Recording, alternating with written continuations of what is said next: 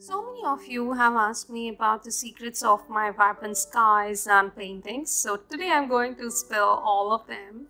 And we are going to paint two vibrant beautiful paintings.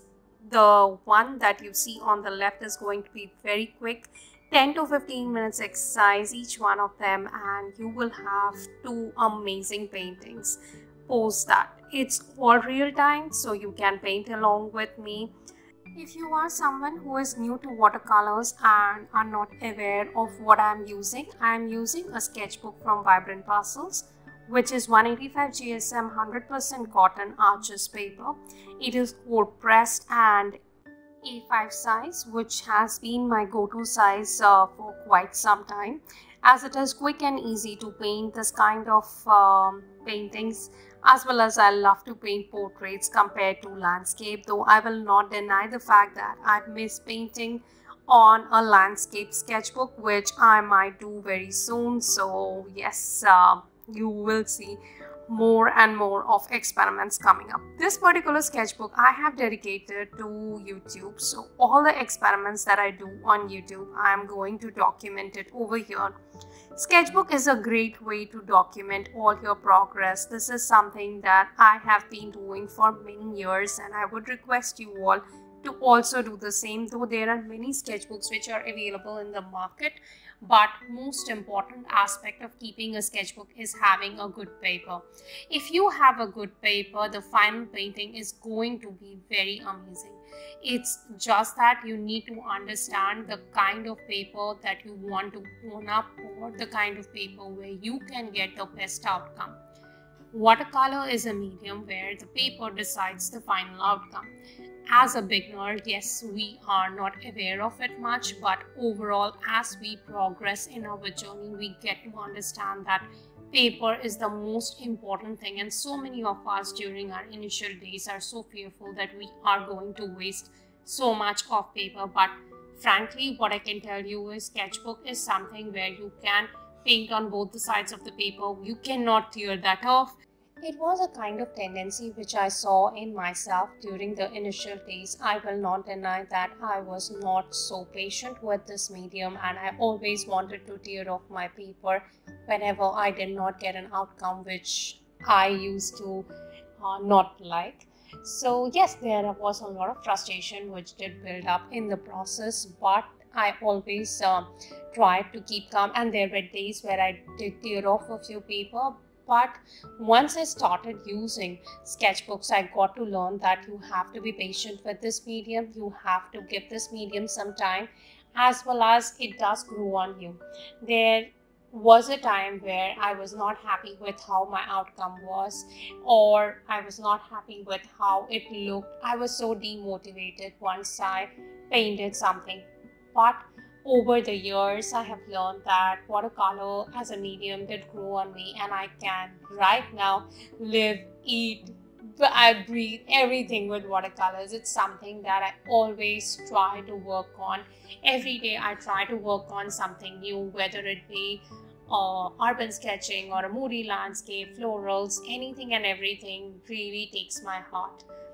By the way, the kind of palette that we are using today is uh, kind of analogous palette, though the colors that we are using in blue and purple is not exactly the same.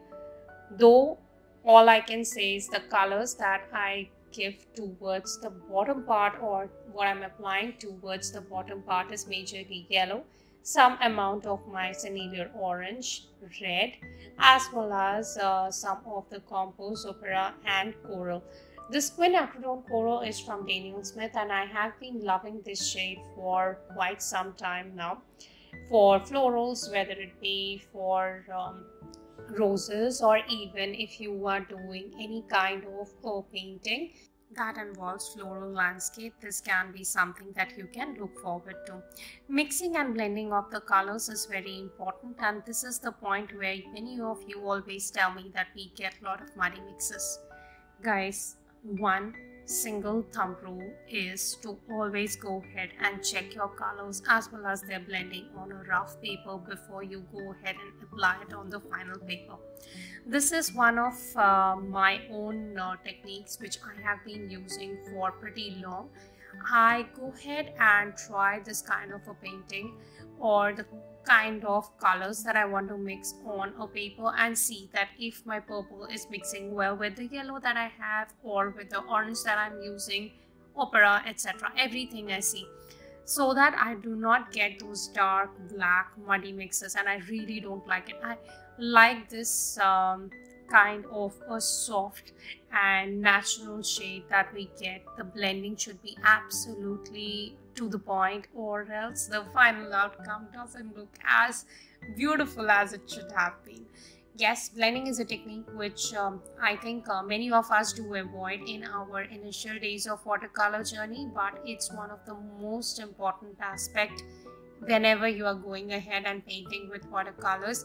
Start with a very flat wash that is covering your whole paper with one single wash and do not have any kind of uh, cauliflower effect or any other brush marks on the paper. Once you actually hone your skills on the flat wash you can go ahead and work with variegated washes.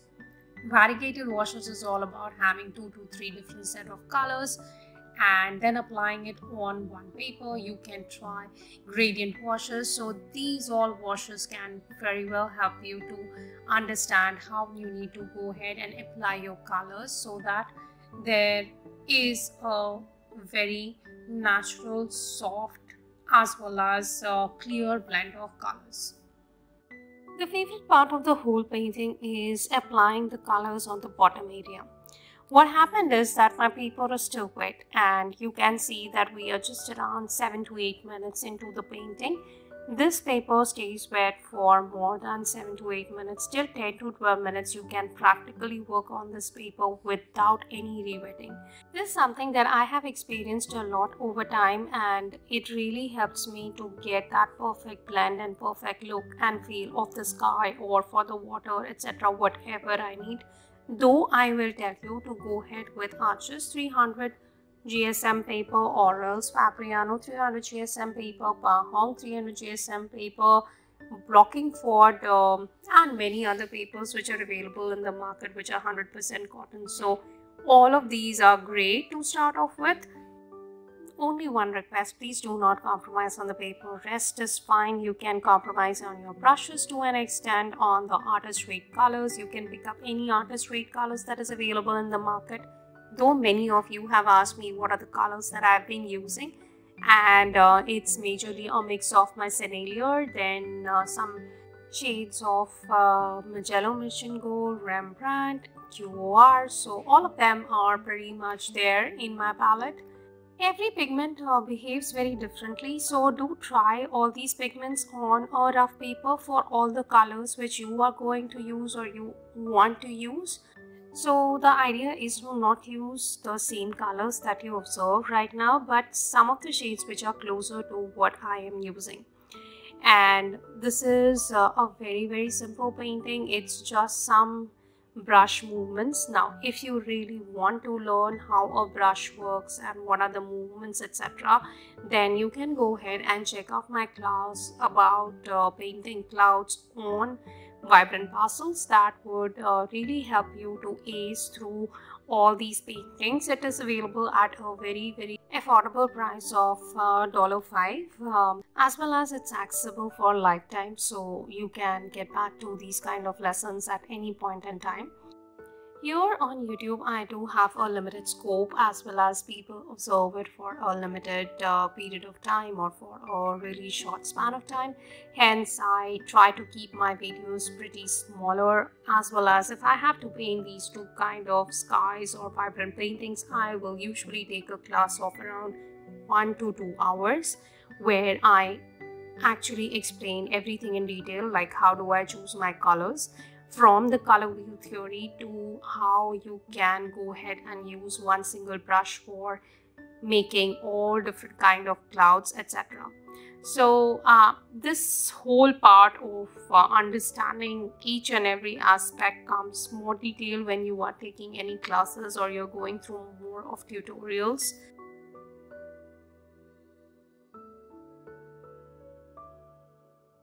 Now I would be going ahead and splattering some water. Uh, this is a very easy technique when your paper is wet. If you splatter water, the place where the pigment is, you the water will actually go ahead and displace that particular part and hence uh, you will get white uh, kind of spaces which looks amazing when the paper dries off.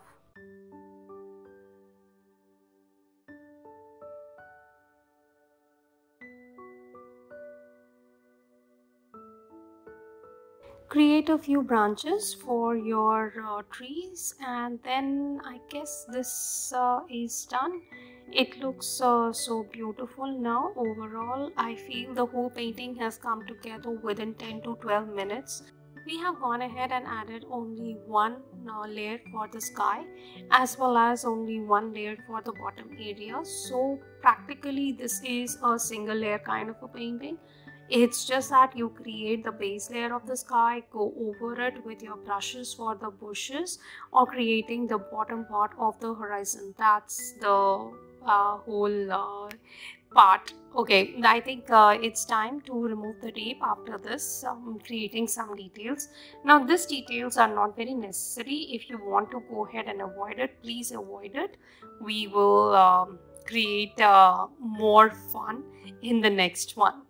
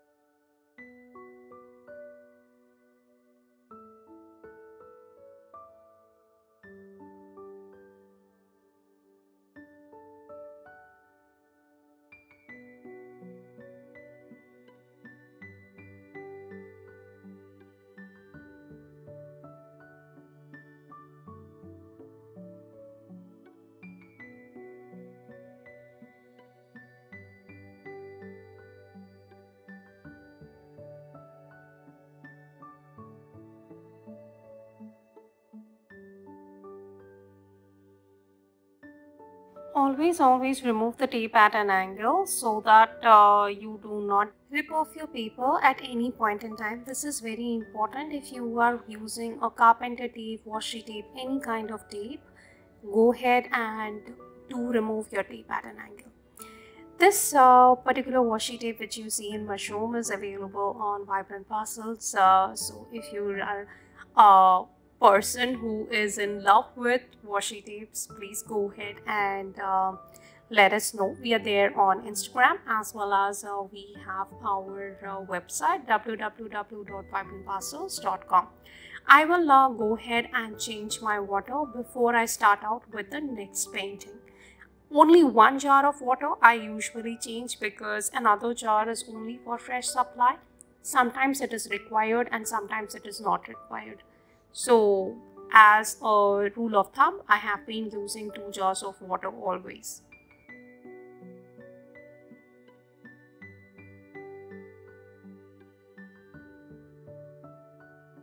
Go ahead and uh, just draw a horizon line and then we will start with our sky.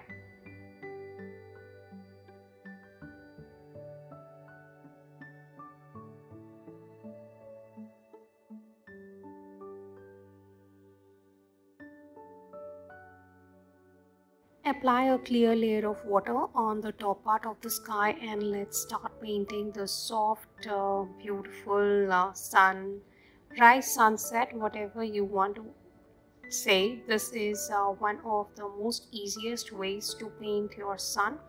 I will go in and around the sun with my brush in a circular motion and create the soft effect of the sun though there are many chances that this particular place will not remain wet for a longer period of time and the whole white space might get um, completely covered with the colors that we are adding. In that case we will go ahead and remove the extra colors with the help of the tissue. This is a very very interesting aspect of watercolors wherever you have less colors or less pigments the colors will flow towards that particular plant.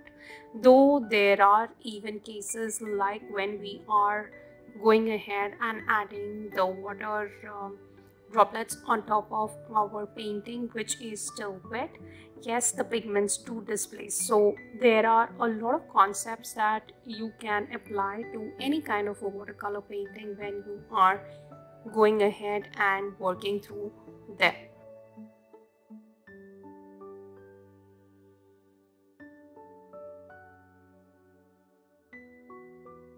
It's time to add some darker values though you know that I always love to go from lighter to darker values but overall I'm pretty happy with how the middle part looks right now.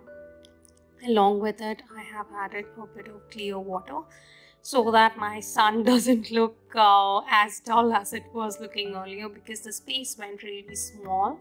After we have added the other pigments it's wet on wet and these kind of things do keep happening in this method. So whenever you are painting any loose landscape in a wet on wet method make sure that you are using water but along with it whatever white spaces that you wanted to leave should uh, be seen. And if you want that to be seen make sure that you are actually lifting out the colors. As I have seen in most of the cases the place becomes smaller and smaller when you are working on an A5 size paper. I will use my tissue as you have seen earlier and maybe once more to lift out the space uh, wherever it is needed and trying to create the glow of the sun. Either it can be a sunrise or a sunset. I would leave that decision up to you what you want to call it but yes this is one of the vibrant skies for sure I am blending my colors right now with the help of my brush. We will continue to do this and then go ahead with the bottom part. I always love to move from the top towards the bottom because this leaves me a lot of uh, space uh, to actually play with my colors as well as there is uh, no way that I can actually smudge my colors. If you move from bottom to the top what happens is sometimes you might go ahead and smudge your colors which is not a great way to work with watercolors as there is very less opportunity in watercolors to get back to where it was. Once a color is applied on the paper it's already applied. There are only few um, times or there are only a few spaces where from where you can lift it out. It's not always that you can lift it out to an extent or just like a white paper you can use it. So it has less opportunities or it gives us less freedom that way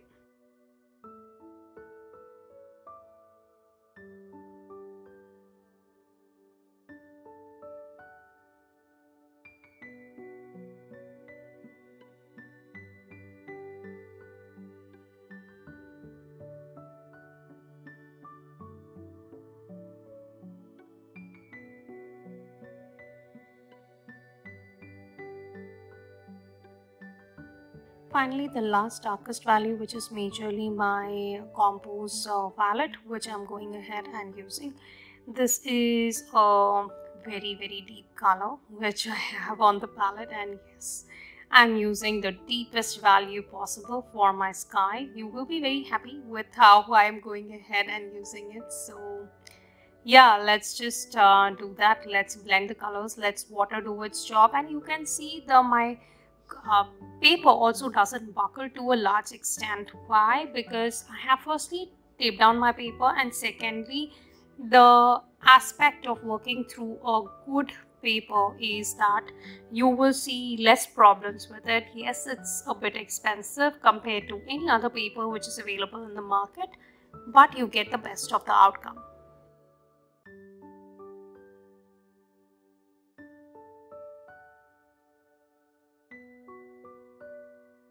And finally adding some blue to complete it. In case you have observed me painting till now, you will see that I have used only single kind of brush throughout both the paintings. I do understand that we all have constraints when we are buying our art supplies and only one or two good brushes is enough for any kind of painting that you want to do. This size of brush is perfect for an A5 paper and I have been using this for a good amount of time. It is uh, Da Vinci brush and size 3 by 0 it is of course a mop brush it comes really handy for painting any kind of clouds skies landscapes etc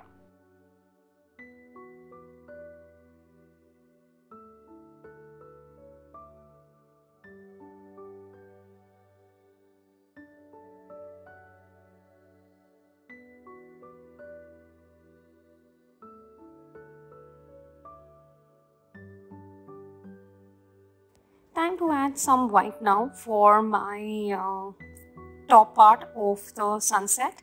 Though you will observe me adding the white very very less in any kind of painting but uh, I have added it for this particular painting as I was not happy with uh, how the sun turned out at the end these kind of smaller accidents do keep happening and you can have uh, one or two easy hacks to overcome them. So go ahead and um, use it to overcome all these difficulties that you face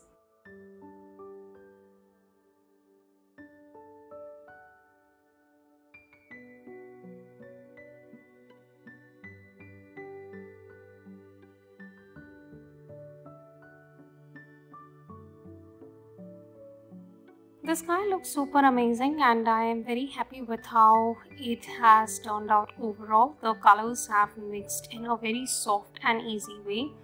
Now we are going ahead with the bottom part. The bottom part is majorly to do with how we are painting our sea.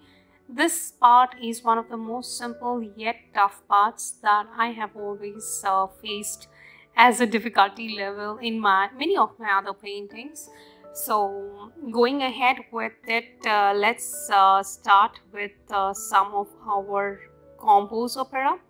Now this compose opera is close to carmine or any other uh, dark pink kind of color on your palette. I would leave the middle part in white so that uh, i can apply some of my uh, white reflection of the sun. Once i have created that uh, reflection of the sun i'm good with it. We will start going from lighter value in the middle towards the darker value on the sides. You can use some red or some orange while you are towards the middle part and some of your yellows once you go on the sides it would be more of purple and blue. Let's continue painting uh, this. There's not much to explain in this case except the part where we are going ahead and removing the color from the paper.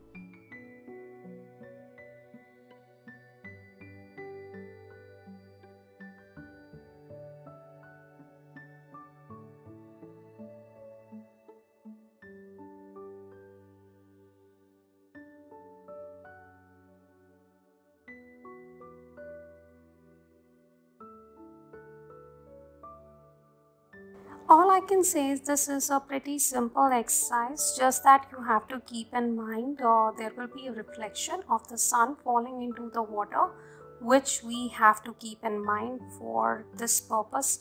And not only this particular purpose wherever there is a reflection into the water you need to keep that particular place as white. I think uh, that's the only necessity whenever you are painting reflections because if there's a reflection of the sun into the water you have to add it to your painting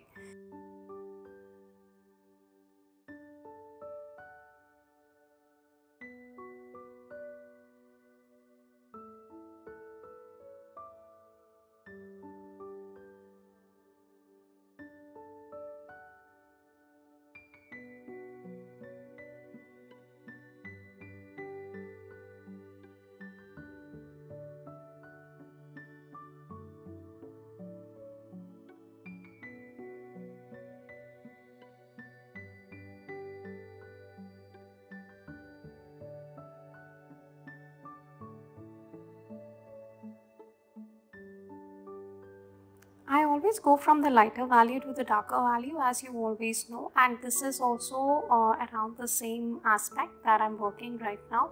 I'm going from my lightest value to the darkest value. Lightest value I've already applied going with some purple and then with some blue.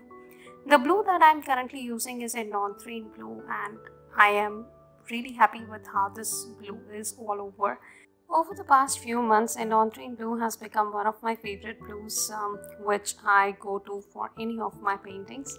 This way, you will also figure out a favorite blue of yours or a favorite color of yours which works amazing with all the colors and they do not produce any muddy mixes. You have to try this, get a outcome, then again try it and then get an outcome. Though I will not say that ultramarine is completely out of uh, radar. I always love to use ultramarine in most of my paintings. Having said that, ultramarine has got a granulating effect and hence whenever you are using ultramarine, make sure that uh, you are actually getting that beautiful granulating effect which makes your painting so much more complete.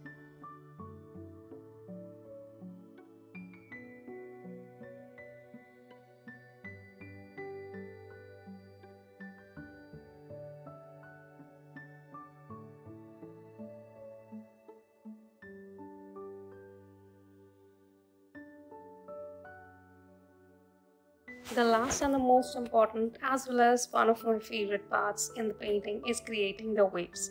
Once the first layer for the bottom area dries off, we will go ahead and start creating the waves. This is a very random wave creation that I am doing, and there is no, I would say, thumb rule for this. You just go ahead and start painting the wave. You will add the darkest value for the bottom part, which is majorly the beach area. And once you go towards the top we will blend it with more of blues as well as with purples to get further smaller and thinner lines which will showcase something like waves but they will not be exactly the waves. And hence there will be practically an illusion of waves. Yes that's the beauty of watercolors you get such a beautiful illusion. It looks practically like a wave. You create so much more dimension in one single painting.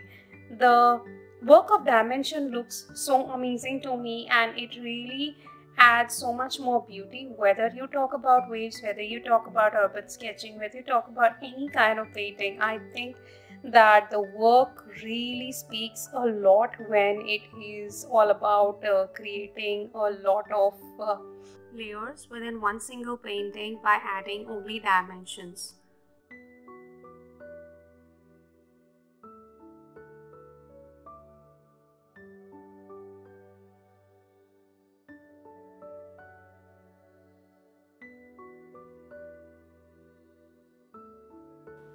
do let me know if you are enjoying this part of the painting. I have uh, usually avoided giving out a full-fledged painting which is all about uh, painting real time along with me. But if you are enjoying this, do write in the comments. Let me know. I would come up with more videos in a month where you can get real-time paintings. You can paint along with me as well as create your painting. Share it with me on Instagram. I would be more than happy to share it over with uh, uh, everyone on my stories. Uh, if you want to follow me on Instagram, I am there as watercolor.illustration.letter as well as you can follow me on my uh, Vibrant Parcels account, which is www.vibrantparcels.com, as well as I'm there on Instagram as Vibrant Parcels. So Go ahead, follow me there. You will get all the updates about our products, about the new classes, courses, etc.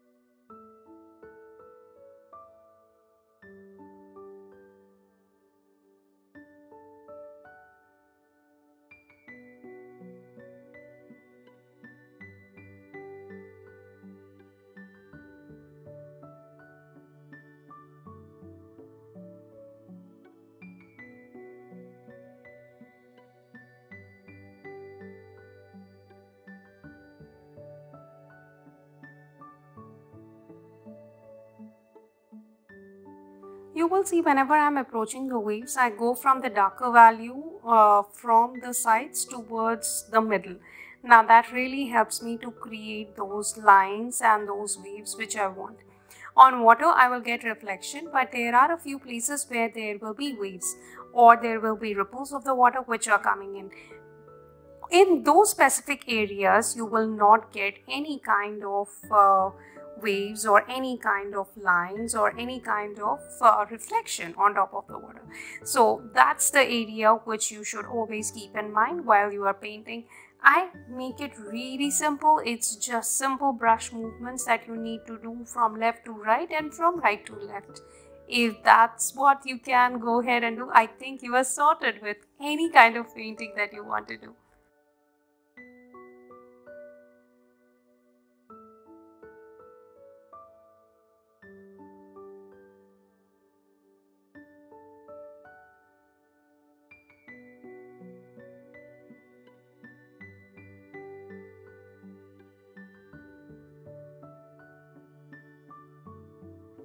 Doing the final detailing adding the darkest value towards the bottom which is majorly my beach area.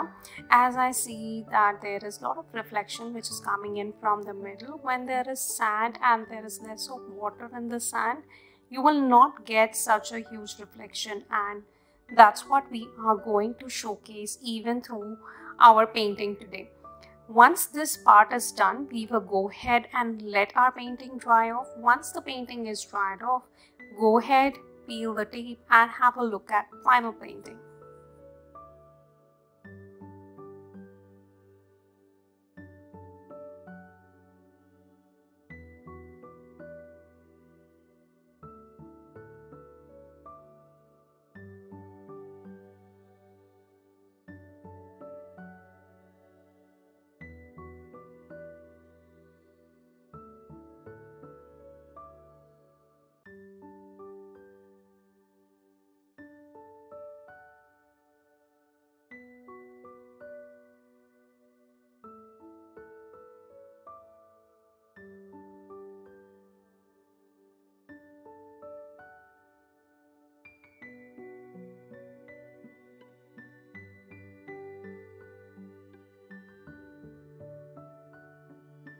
Seriously, I am super happy with how both the paintings have turned out. Exceptionally, I would say the right hand side because we frankly have um, added so many layers within one single painting without doing much.